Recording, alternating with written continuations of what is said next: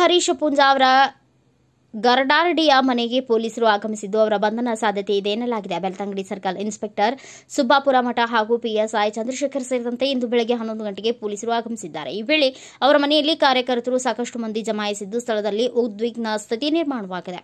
BJP taluk Yuva Morcha ಅಧ್ಯಕ್ಷ ಶಶಿರಾಜ ಶೆಟ್ಟಿಯನ್ನ ಮೇ ಹದಿನೆಂಟರಂದು ಅಕ್ರಮ ಕಲ್ಲುಕೋರೆ ಪ್ರಕರಣದಲ್ಲಿ ಪೊಲೀಸರು ಬಂಧಿಸಿದರು. ಇದನ್ನು ವಿರೋಧಿಸಿ ಶಾಸಕ ಹರೀಶ್ ಪುಂಜಾ ರಾತ್ರೋರಾತ್ರಿ ಬೆಳ್ತಂಗಡಿ ಪೊಲೀಸ್ ಠಾಣೆಗೆ ತೆರಳಿ ಪ್ರತಿಭಟನೆ ನಡೆಸಿದರು. ಈ ಸಂದರ್ಭದಲ್ಲಿ ಸರ್ಕಾರಿ ಕರ್ತವ್ಯಕ್ಕೆ ಅಡ್ಡಿಪಡಿಸಿದ ಕುರಿತು ಎಫ್ಐಆರ್ ದಾಖಲಾಗಿದ್ದು ಮೇ ಇಪ್ಪತ್ತೊಂದರಂದು ಪ್ರತಿಭಟನೆ ನಡೆದ ದಿನ ಪೊಲೀಸರಿಗೆ ಬೆದರಿಕೆ ಒಡ್ಡಿರುವ ಕುರಿತು ಅವರ ಮೇಲೆ ಇನ್ನೊಂದು ಪ್ರಕರಣ ದಾಖಲಾಗಿದೆ. ಈ ಹಿನ್ನೆಲೆಯಲ್ಲಿ ಅವರ ಬಂಧನ ಸಾಧ್ಯತೆ ಇದೆ ಎನ್ನಲಾಗುತ್ತಿದೆ.